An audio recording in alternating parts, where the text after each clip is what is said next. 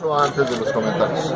Es un viaje que tenía programado eh, primero el canciller en temas de la agenda bilateral y luego agregamos una reunión en los temas que son mi responsabilidad, que los temas comerciales, donde van a estar presentes tanto Jared Kushner como el doctor Videgaray quienes de alguna manera tienen eh, la responsabilidad integral de toda la agenda bilateral. ¿Pero qué esperan? ¿Bajarle un poco el tono? No, repito, repito, no, no esperamos nada en ese sentido porque la, la reunión no estaba planeada en función de este tuiteo reciente. Esa reunión estaba programada ya desde hace rato.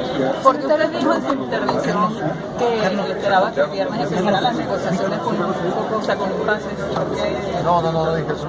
Lo que dije es que todas las negociaciones, y lo he dicho antes son como una montaña rusa, habría días buenos, habría días malos. La primera ronda fue una ronda muy productiva, se avanzaron, como dije, en 10 temas fundamentales, otros también tuvieron avance, como siempre, se avanza más rápidamente en aquello donde coincidimos intereses más rápidos. Senadora Diva. un plan B, ¿cuál? O sea, explíquenos qué sería ese plan B. A ver, claramente desde el primer día, antes de iniciar esta negociación, yo he dicho que México llega a la mesa siempre con un plan alternativo, al mismo tiempo que tenemos una visión constructiva, que queremos llevar esta negociación a buen puerto, no podemos ser irresponsables y no tener un escenario alternativo. Ese escenario alternativo se basa fundamentalmente en un grupo de pilares eh, muy importantes. El primero es el pilar que tiene que ver con cuál va a ser la definición de acceso a mercado a partir de un escenario donde NAFTA eh, no existe. Y eso lo sabemos, la mitad de los bienes entrarían simplemente hoy sin NAFTA, la mitad de los bienes entran prácticamente en tarifa cero sin los beneficios de NAFTA. ¿Qué quiere decir? Que continuará el comercio establecido. Hay algunos bienes que enfrentarán, pueden enfrentar picos arancelarios, y como ya los hemos descrito, de allá para acá el maíz pudiera enfrentar picos arancelarios, la fructosa, de aquí para allá los pick-up trucks, los tomates, pero bueno, finalmente eso también tiene que ser acompañado por un plan muy claro de diversificación. Estamos avanzando en la quinta ronda de negociaciones con Europa, vamos a la sexta ronda con Brasil, estamos yendo a Australia para la definición del TPP-11 y estamos iniciando en septiembre negociaciones con los mismos asociados de Alianza Pacífico.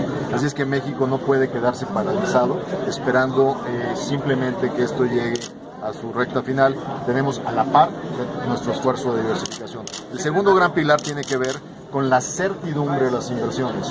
Hoy el acuerdo, los acuerdos comerciales no son solo para acceso de bienes y mercancías, son también para enviar mensajes claros de eh, confianza a los inversionistas.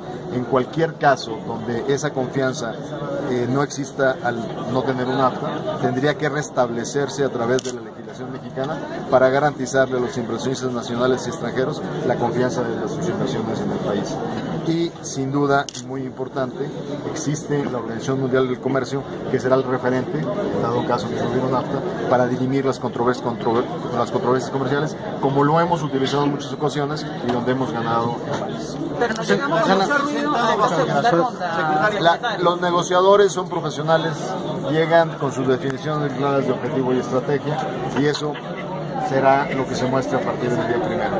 Eh, lo que pase al margen de los grupos técnicos de negociación, eso va al nivel de lo que ya sabemos, no era novedad, desde el primer día del 16 de agosto sabemos dónde están las diferencias, que tendremos que encontrarle una solución a las mismas para seguir avanzando.